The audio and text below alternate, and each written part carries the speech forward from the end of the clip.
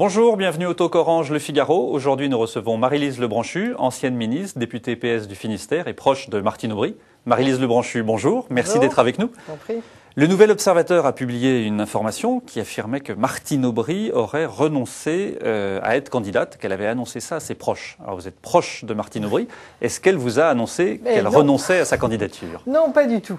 Ah, Je pense en plus que c'est une question qui ne s'est pas du tout posée euh, ces, ces- ces derniers jours, parce que Martine Aubry a raison euh, sur deux points. Le, le premier, c'est qu'elle a proposé un calendrier de consensus quand même hein, à toutes, euh, tous les candidats potentiels du, du parti, euh, et qu'elle doit, elle, absolument le respecter, parce que si on veut euh, réconcilier les Français et la politique, il faut respecter ce qu'on dit et ce qu'on fait, c'est-à-dire dire ce qu'on fait, faire ce qu'on dit, etc. Vieille, vieille phrase bien connue. donc le calendrier, c'est Voilà, le mois de mai, le, le projet, Voilà. et les candidatures à partir En- du mois de juin. Et je pense qu'elle a raison parce que euh, quand, quand on voit tout ce qui se passe en, France aujourd'hui et hors de France, hein, les, les sujets sont très lourds. euh, les citoyens français sont déstabilisés par beaucoup de choses, mais ils ont envie de, ils ont besoin d'espoir. Je pense qu'ils ont besoin d'espoir. Et moi, ce que je rencontre le plus souvent, c'est de la résignation. Donc, le projet, c'est de l'espoir. Après, qu'il s'incarne dans un candidat, bien évidemment, mais euh, il ne faut pas occulter le projet par, euh, j'ai envie de dire, euh, le visage, la couleur de cheveux ou. En, ou en même temps, la présidentielle, c'est l'incarnation par un homme d'un projet femme. ou d'une femme. C'est parce que nous avons fait de mieux, hein, sans, sans doute, cette inversion du calendrier. Je, je- je- on le sait maintenant, mais je, je crois qu'il faut qu'on prenne euh, euh, langue avec les citoyens pour leur dire, certes, il y a une incarnation, certes, il y a un président qui donnera des grandes orientations, en particulier sur la scène internationale, ne l'oublions jamais, parce que le contexte est difficile, mais il y aura un gouvernement et nous ne serons pas des...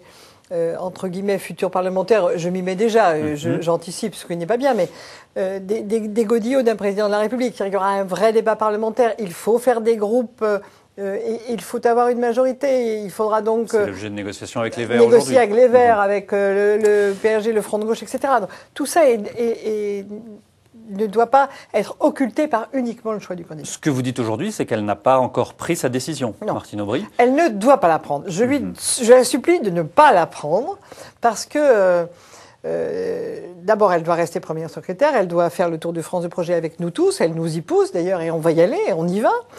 Euh, mais elle ne doit pas la prendre parce que je trouve que le contexte politique est très fragile. Euh, Elle était tentée de la prendre des... là, dans- Elle- rapidement je- je- jamais elle ne me l'a dit, hein, jamais elle ne me l'a dit, mais je pense que cette tentation doit exister. Mais elle ne doit pas la prendre parce qu'on est dans un contexte fragile. On va voir ce que donne, bien sûr, le vote du projet, mais comment on a réussi ou pas à, à enclencher ce qui n'existe pas encore, c'est la confiance dans le Parti socialiste, c'est-à-dire dans une majorité parlementaire. Il ne faut pas l'oublier. Un président tout seul ne peut pas faire euh, changer. Il peut à la limite changer un peu le monde. Il ne peut pas changer son propre pays. Il a besoin d'un projet qui s'appliquera au, au Parlement. Soyons vigilants et essayons de populariser cette idée. Vous, vous êtes proche d'elle, vous Oui. souhaitez sa candidature Bien sûr.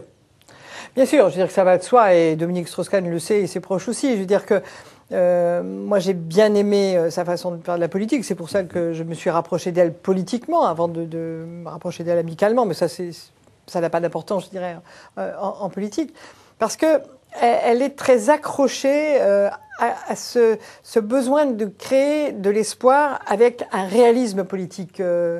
Euh, étayé, si vous voulez. Dire, dire aux Français, c'est pas perdu. C'est non, euh, même si la France, on l'a dit, déchirée, abîmée euh, euh, aujourd'hui, si le pouvoir d'achat est un, un sujet lourd et, et on partage les inquiétudes, on, ne, on, ne, on ne voudrait pas, je ne veux pas, moi, Martine Aubry, que vous sombriez dans, dans la résignation qui conduit euh, parfois aux extrêmes. Donc, j'aime bien cette façon d'appréhender la politique, de dire oui, on est capable de changer les choses à court terme. Oui, on est capable de changer les choses. On est capable de changer votre vie euh, à, à court terme.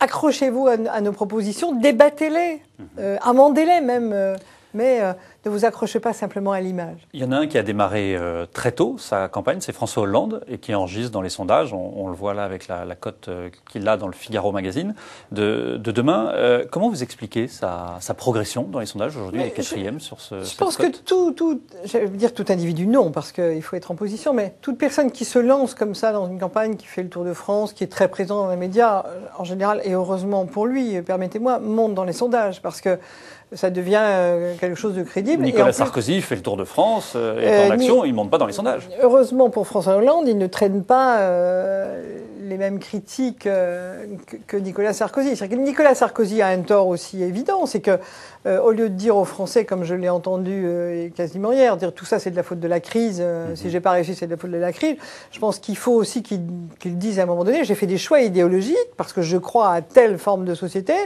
Euh, j'ai pas, mais je, pense qu'à force de se réfugier derrière la crise, euh, il, décrédibilise sa, son mandat, d'ailleurs, de président depuis qu'il a été élu, et il décrédibilise le, politique de manière générale. En face, François Hollande, qui est le seul pour l'instant chez nous, avec Ségolène Royal et, et, Arnaud Montebourg, mais qu'on voit moins, est le seul à, parler de crédibilité politique, c'est-à-dire de mesures, euh, de, de, façon de voir la France. Quand, quand d'autres rentreront en scène, sans doute, les choses changeront, mais c'est bien. Nous, nous sommes toujours contents si que les socialistes... Si ne devait pas être candidate, ça serait pour vous un, deuxième choix ou...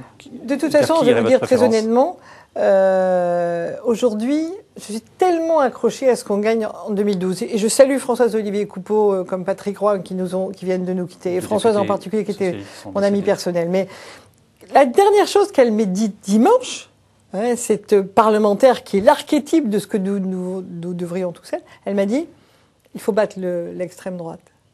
Donc moi, je dis, tout candidat, je le protège, parce que je veux que mon candidat, qui ne sera pas peut-être celui pour lequel j'aurais voté, mais ce sera mon candidat, je veux qu'il gagne.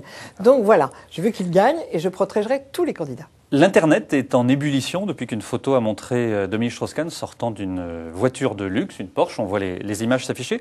Euh, Qu'est-ce que vous dites? Vous dites c'est une bévue, ça n'a pas d'importance. Euh, euh Martine Aubry n'aurait jamais ne serait jamais sorti d'une telle voiture. Ça n'a pas réellement d'importance. Je veux dire, on va dire c'est pas de la faute de, de Dominique Strauss-Kahn, c'est les amis qu'il a ont des Porsche. Je veux dire c'est pas Bon, c'est une erreur de communication. ceci étant, puisque malheureusement nous sommes dans une société de l'image, faisons attention à l'image. Dire que il faut aussi toujours faire attention à, à ce qu'on est. Et c'est vrai que Dominique a de très grandes qualités. Je tout le monde est au moins unanime sur ce point. Parfois, il faut qu'il fasse attention parce qu'il faut qu'il dise aux Français qu'il peut vivre avec eux comme eux.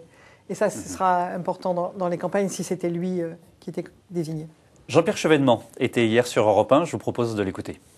Les socialistes auraient tort euh, d'avoir peur parce que je veux leur bien. Je considère que si on devait en rester à cette situation, et si le Parti socialiste ne devait pas critiquer le pacte de compétitivité et surtout offrir d'autres perspectives à l'euro et à l'Europe, à ce moment-là, ce serait grave. Le 21 avril n'existe que parce qu'il y avait un Front National qu'à l'époque on n'a pas vu venir. Les forces euh, principales, l'UMP et le PS, devraient s'interroger d'abord sur leurs responsabilités. Hein, et pour ma part, je serai candidat pour faire bouger les lignes. Jean-Pierre Chevènement, candidat, ça vous rappelle des mauvais souvenirs? Qu'est-ce que vous lui dites? Euh, je ne vais pas dire mauvais souvenirs, parce qu'après tout, on est tous co-responsables de la situation du mois d'avril 2002. Hein, donc voilà. Euh, ce sont des souvenirs assumés en tout cas. Je, crois que euh, il peut, il a raison de, défendre euh, son corpus d'idées parce que c'est vrai que c'est quelqu'un qui travaille énormément, qui a beaucoup travaillé. Au Respublica, qu'il publie régulièrement, le, mhm. montre.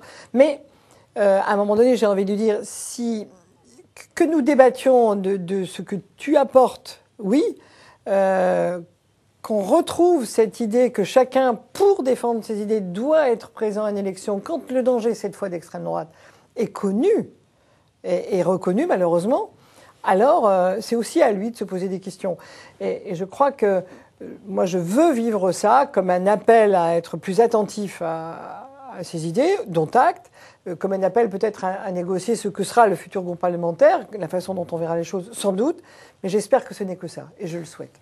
Dans quelques jours, le Parti socialiste fêtera euh, les 30 ans du 10 mai 1981, euh, où François Mitterrand, qui était premier secrétaire du Parti socialiste, qui avait résisté à Michel Rocard, qui lui-même était très populaire dans les sondages, et avait été élu président de la République. C'est une leçon à retenir pour Martine Aubry, par exemple? Je ne sais pas si c'est en ces termes que cela se pose même si effectivement euh, être premier secrétaire, surtout quand le parti réussit, c'est une forme de légitimité, c'est vrai. Euh, mais, je crois surtout que la, leçon à tirer, c'est la préparation en amont, euh, c'est la recherche justement, y compris, parler des rocardiens, mais il y avait aussi des négociations avec les autres partis de gauche, c'est la, recherche de, la négociation vraie, c'est-à-dire pas habillés.